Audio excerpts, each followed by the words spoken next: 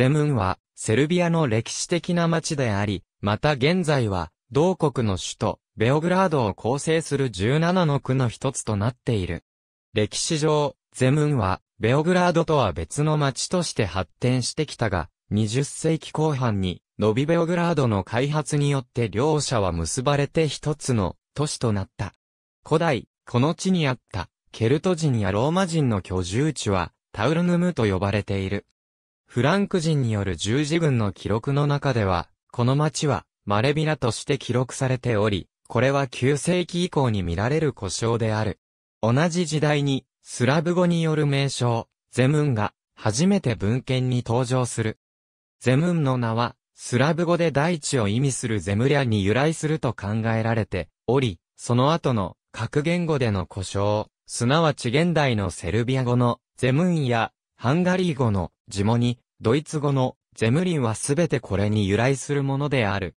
ローマ時代の石棺、ゼムンで見つかったギリシア神話のマイナスの石像今日のゼムンには、新石器時代から人の居住があった。バデン文化の墓地や土器がゼムンで見つかっている。また、付近のアスタルトナバザからは、ボスト文化の墓地が見つかっている。タウルヌムで、初のケルト人の居住は、スコルディスキがトラキア及び、ダキアに属するドナウ川沿いの一部地域を支配下に置いた、紀元前3世紀のことであった。ローマ人は、紀元前1世紀にこの地を支配下に収め、タウルヌムは、西暦紀元15年に、パンノニア属州の一部となった。タウルヌムには、要塞があり、シンギリヌムを訪れる、ローマ人の渓流地として利用された。ローマの詩人、オイディウスのペンがタウルヌムで見つかったと言われている。民族移動時代を経て、この地域は、ローマ帝国、ゲピド王国、ブルガリア帝国など、多くの国家、民族による支配を経験することとなる。12世紀には、ハンガリー王国の支配下となり、15世紀に、セルビア人のデスポト・ジュラジ・ブランコビッチの所領となる。1459年に、一体のセルビア人諸公国が、オスマン帝国に征服されると、ゼムンは、軍の駐屯地として、重要な拠点となる。ゼムンは1521年7月12日に、オスマン帝国に征服され、ブディン州、スレム山弱の一部となった。1608年、オスマン帝国支配下のゼムン、オスマン帝国が1716年8月5日に、ペーターバルダインの戦いで敗れた後、ゼムンを含むスレム地方南東部は、1717年に、ハプスブルク君主国に征服された。パッサロビッツ条約によってこの地方は、シェーンボルン家の所領となった。ドナウ川とサバ川の合流地点に位置する、この場所は、ハプスブルク家のオーストリア対抗国とオスマン帝国の戦いにおいて戦略的重要拠点であった。1739年のベオグラード条約によって最終的に国境が確定され、オーストリア領となった。1746年には軍政国境地帯が設置され、1749年にゼムンは軍事地区に指定される。1754年の時点で、ゼムンには1900人の正教徒、600人のカトリック教と76人のユダヤ人、100人のロマが居住していた。1777年には、ゼムンには1130世帯、6800人が居住し、うち半数はセルビア人、残りの半数はカトリック教徒やユダヤ人、アルメニア人、ムスリムなどであった。カトリックの住民の中で最大の勢力は、ドイツ人であった。この頃よりゼムンには、ドイツ人やハンガリー人の居住者が増え始める。19世紀のゼムンゼムンは交通の要衝、そして国境の町として繁栄した。1816年には多数のドイツ人及びセルビア人の移入に伴い、町が大幅に拡張され、新たにフランツェンシュタール及びゴルニャバロシュ地区が誕生した。19世紀のゼムンの人口は1310世帯、7089人であった。1813年には、オスマン帝国に対する反乱を率いたカラジョルジェ、ペトロビッチが失脚し、多くのセルビア人と共にゼムンへと逃げ込むという、セルビアの歴史上の重要な出来事の現場となった。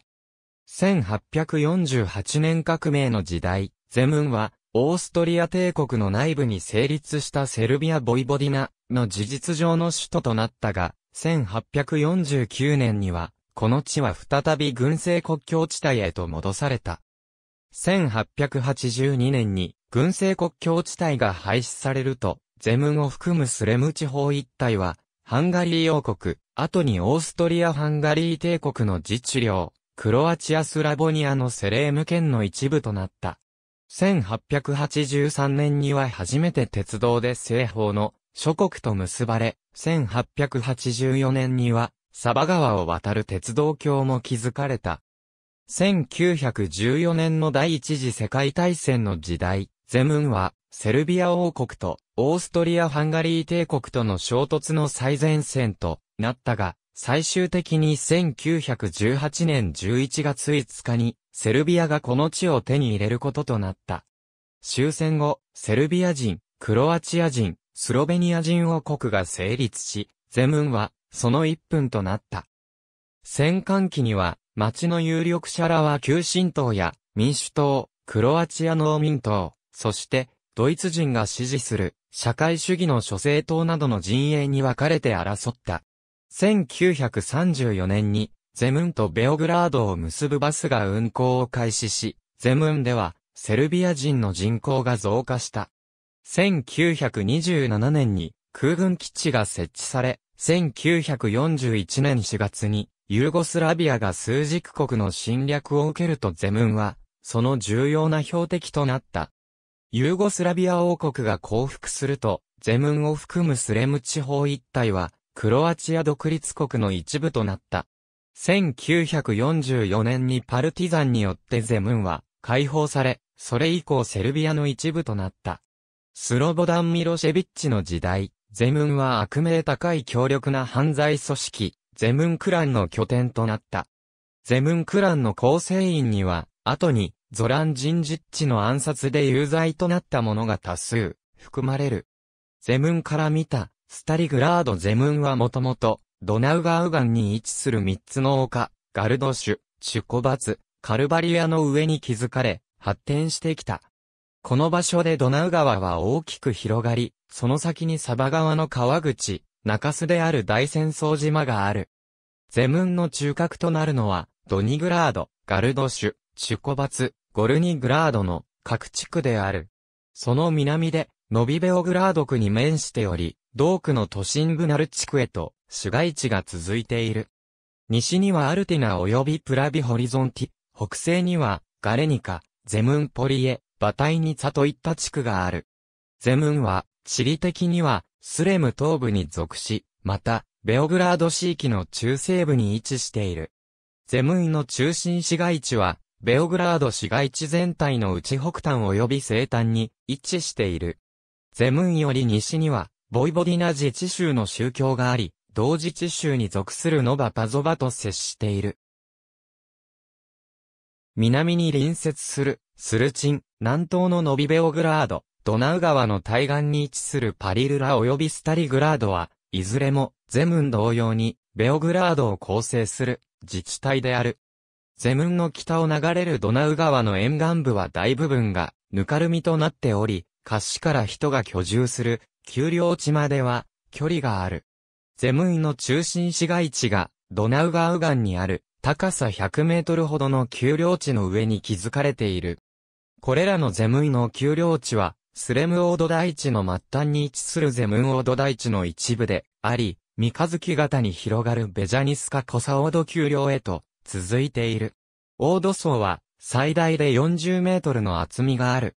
ドナウ川の中州である二つの無人島、大戦争島及び小戦争島もゼムン区に属する。ゼムン区の総面積は153平方キロメートルに達する。ゼムンは、ベオグラードで最も人口密度の高い地域の一つであり、第二次世界大戦以降に人口は大幅に増加した。公式の国勢調査によるゼムンの人口は以下の通りである。2004年以前の自治体の人口には、ゼムンから分離される、以前のスルチンの人口が含まれる。2002年の国勢調査による住民の民族別の内訳は、以下の通り、ゼムンの区期1929年10月3日、アレクサンダル一世の統治下で、ゼムン自治体は、ベオグラード市を構成する自治体とされた。1934年4月1日に、ゼムン自治体は廃止され、単一のベオグラード自治体が設置された。1941年から1944年までゼ、ムンは、ナチスドイツの占領下に置かれ、形式上は、ドイツの傀儡国家であるクロアチア独立国の一部とされたが、実際には、ドイツ軍が支配した。解放後の1945年にベオグラードは区に分けられたが、ゼムンは、これとは別に、ゼムン市とゼムン地区に分けられた。1955年に、ゼムン市及び、ゼムン地区の大部分は再び、ベオグラードの一部となった。1950年代から1960年代にかけて、ボリエブツ及びドバノブツの両自治体が、スルチン自治体へ、バタイニツァ自治体は、ゼムン自治体へと合併された。1965年に、スルチン自治体が、ゼムン自治体へと合併され、面積438平方キロメートルに達する巨大なゼムン自治体が誕生した。しかし、2003年11月3日に、ベオグラード市議会は、スルチン自治体の再設を決定し、2004年11月3日に、スルチン自治体は、ゼムン自治体から行政的に分離された。2000年代初期には、バタイニツァをゼムンから分離する動きも起こった。ゼムンとベオグラードの住民の間には長年にわたる対抗意識があり、特に若年層で顕著である。一般的にゼムイの住民は、自らの町をベオグラードからは独立し、より発達した文化的な町と考えており、自身をベオグラードとは、異なるゼムイの住民であると考えているが、これに反して、ベオグラードの住民は、ゼムンを、ベオグラードの郊外地区と考えている。ゼムンは、ベオグラード市の中で、最も発達した自治体の一つであり、多岐にわたる産業を持っている。域内の2カ所で工業団地の開発が進められており、それぞれ幹線道路や馬体ニツァ、ノビサドと結ばれる道路に面している。製造業では、農業機械、設備の図枚、精密、光学機器、オートメーション設備のテレオプティック、時計のインサ、バスや、その他大型輸送機器のイカルブルー、製薬のガレニカ、プラスチックのグルメチュ、靴のオブチャベオグラード、繊維のティズ及びゼクストラ、リサイクルのイノスマテリ及びイノス、パピル、飲料のコカ・コーラ及び、ナビップ、陶磁器のロマ、建設資材の DIA 及びアニトムや、電子機器、比較製品の製造拠点がある。また、これらの工業団地には、多くの物流倉庫もある。セルビアの重要な道路が、複数、ゼムンを通過している。ベオグラード・ザグレブ道路や、ノビサドとベオグラードとを結ぶ道路は、旧道、バタイニチュキドルムも振動もゼムンを通過する。また、ベオグラードを迂回して、バタイニツァとブバニポトクを結ぶ、建造中のベオグラードバイパスの支点もゼムンの域内に含まれる。ゼムンの本土とドナウ川の中州、大戦争島とを結ぶ船橋が、夏の間設置されるのを除けば、ゼムンには、ドナウ川を渡る橋は存在しない。ゼムンのガレニカと大岸のボルチャとを橋で結ぶ計画がある。2011年4月に、ベオグラード首都圏の都市鉄道、BG ボスの馬体にツァノビベオグラード間が、延伸開業し、ベオグラード中心部を経てパンチェボ橋駅まで、BG ボスの電車で、直通利用が可能となった。馬体にツァ地区の近くに位置する、馬体にツァ空軍基地へは、市民の出入りは、制限されている。ゼムンの岸辺から見たドナウ川夜のゼムンガルド種のフニャディヤーノ種の塔、ゼムンとベオグラードベオグラード大学の農学部をはじめ、多数の高等教育機関や研究機関の施設がゼムンにある。また、郷土博物館やマドレニアヌムオペラ劇場がある。ベオグラードの主要な医療機関のうち2つ、KBS ゼムン及び KBC ベジャニスカコサ、並びに、ベオグラードで最大の老人養護施設ベジャニスカコサが、ゼムンにある。宗教施設には、ガルドシュ墓地聖堂やハリーシュ礼拝堂、聖ニコライ聖堂、聖大天使、ガブリール聖堂、二つのローマカトリックの聖堂などがある。ゼムンの市街地には多くの広場がありそれぞれ、マギストラ付き、セニスキ、ベリキ、ブランカラビチェビツァ、カラジョルジェブ、マサリコブなどと名付けられている。青空市場が行われる広場もある。ドナウ川沿いの河岸部は 1km にわたる遊歩道があり、端家のカフェやアミューズメントパーク、かつてベオグラード最大のホテルであったホテルユーゴスラビアなど、多くの娯楽施設が軒を連ねる。12世紀のハンガリー王国とビザンティン帝国との戦争の頃の町の残滓が残されており、ゼムンスキグラードと呼ばれる。現在も見られる構造物としては、塔と防壁からなる中世の要塞が見られる。これは15世紀にオスマン帝国のスレーマニ一世の軍に対して、ハンガリー王国軍やクロアチア人、マルコスコブリッチ率いるクロアチア人、セルビア人混成の500人の水兵者イカ氏が戦った時代のものである。この戦いでは強固な抵抗にもかかわらず、7月12日にゼムンはオスマン帝国に制圧され、ベオグラードもその直後に制圧された。この場所には後にクラシビニャニンヤンカが建てられた。この塔はハンガリー人のパンノニア平原への定住千年を記念して1896年8月20日に完成した。塔はローマの様式をもとに複数の要素を織り交ぜたものである。塔は数十年にわたって消防士らが利用していた。塔の名前の由来となったフニャディアーノ種は、この塔が立つ4世紀半前に、ゼムンの要塞で死去した。地元の住民は長年にわたって、細く自動車の通行に適さない石畳の路地などを含む街の古い外観を保つ努力を続けている。ゼムンには公園は少なく最大である市民公園は1880年に開設されたもので、2008年に改良計画が設定された。このほか、カルバリア地区には、イエロバツ公園があり、またマジュラニッチ広場の小さな公園は2007年11月に改修された。ゼムンには FK ゼムンや FK ミルティナツゼムン、ビースケバータイニツァのホームグラウンドをはじめ、多数のスポーツ競技場がある。ベオグラードの主要な屋内スポーツ施設ハラピンキもゼムンにある。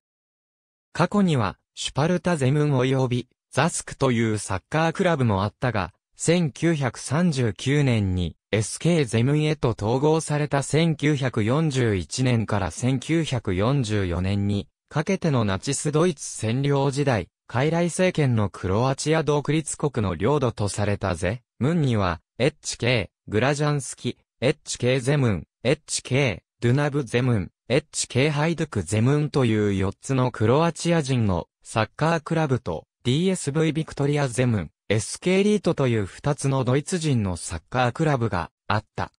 FK ゼムンはかつてガレニカという名前だった頃、ユーゴスラビアプルバリーガに属した経験がある。この他に FK テレオプティック、FK ズマイ、FK ミルティナツゼムンといったサッカークラブもある。ゼムンは以下の都市と姉妹として形している。ありがとうございます。